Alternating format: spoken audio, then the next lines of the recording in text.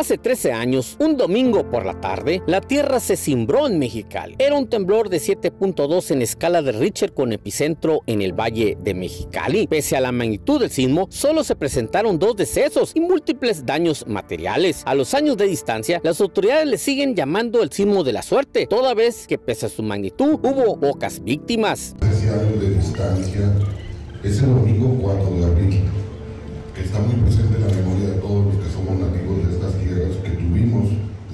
vivencia de ese terremoto que impacta la ciudad de Mexicali ese día domingo, siendo las 17 con 40 minutos.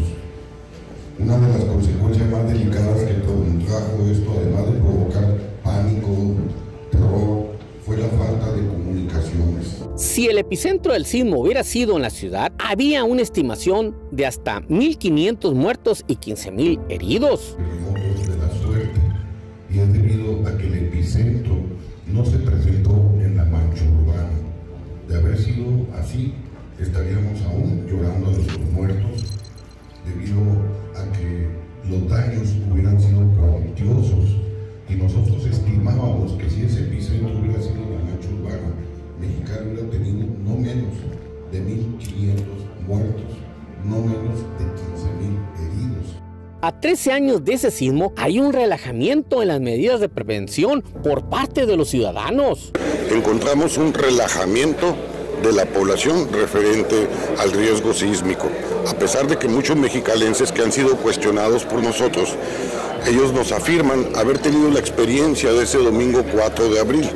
Por ello lo mencionamos, estamos bajando la guardia y tenemos que poner mucha atención al recordar que Mexicali con sus 13 fallas geológicas, el riesgo sísmico es muy, muy elevado. Después del temblor de 7.2 grados, hubo adecuaciones a los reglamentos de construcción en la ciudad y reconocen que actualmente deben actualizarse nuevamente. Mira, tengo entendido que ya tiene varios años, después del, del- del sismo del, do- del 2010 ¿Hubo adecuación? hubo adecuaciones y se está mencionando de que ya debe haber una actualización. ¿no? Entonces, en eso están las, las partes que, está, que, que se, que están ahora sí interesadas en el tema y bueno, esperaremos a ver eh, los resultados en su momento.